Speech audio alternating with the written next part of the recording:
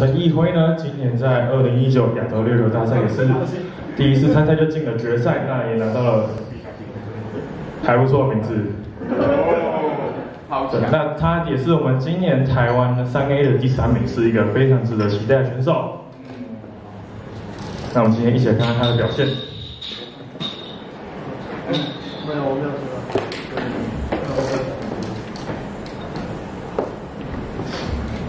摄影准备好了吗？裁判准备好了吗？请问选手准备好了吗？OK，二零一九 D N F C 第三弹陈奕辉。